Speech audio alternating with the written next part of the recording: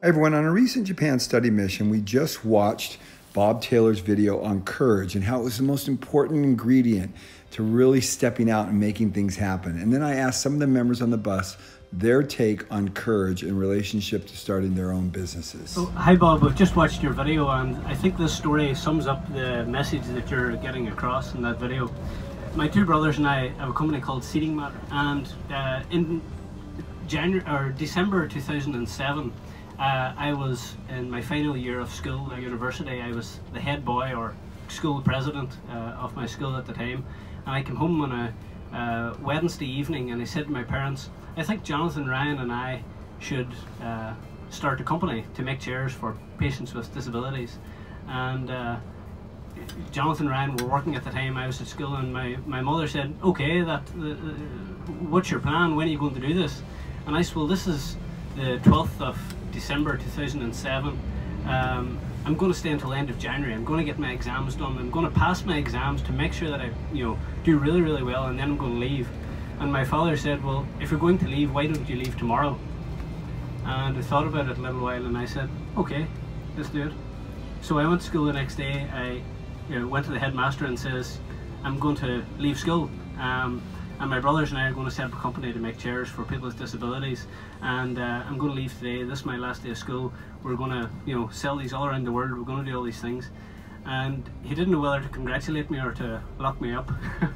But uh, I left anyway, and we started our business. And yeah, it took courage. 2008 was when the recession started, the global financial crisis. So it uh, probably was the worst time if you were going to start a business, but we did it anyway. We've persevered, and here we are, 10 years later, and uh, things are going pretty well.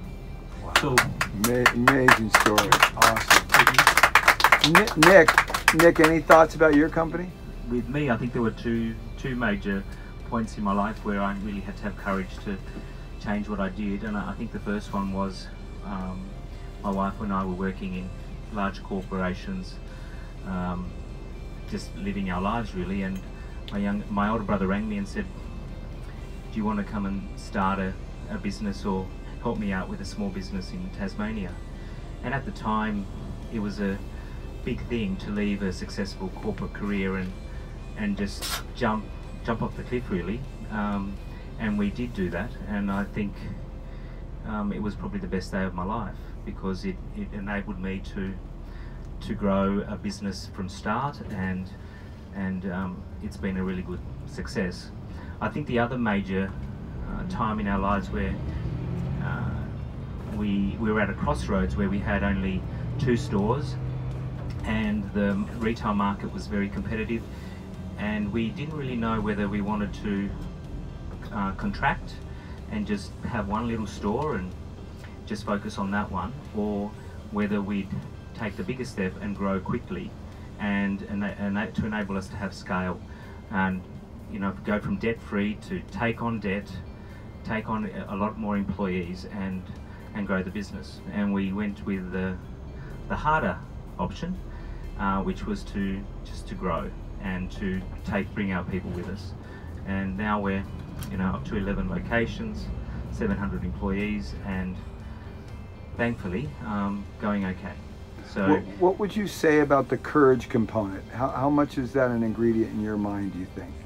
It's a very large ingredient because hu human nature is to to not do the difficult thing, yeah. and the difficult thing is is something that um, few people take that road. And there are times where you wake up and you're motivated by fear rather than uh, fear of failure right. um, and the responsibility that you have that you're employing all these people. And, and many people think that through and think, I don't want to be going down that path. But you need to because sometimes the difficult step is the one that will enable you to grow and and achieve what you're able to do. And, so. and, I'm curious, did you put your ego at risk when you did that, made that decision? Absolutely. And did you put your livelihood at risk? Absolutely. Your reputation? Absolutely. Yeah. Stress, family. And at the time, it didn't it didn't seem obvious necessarily, but yeah, but looking back, looking back, back absolutely, very easy. Mm. Yeah. So.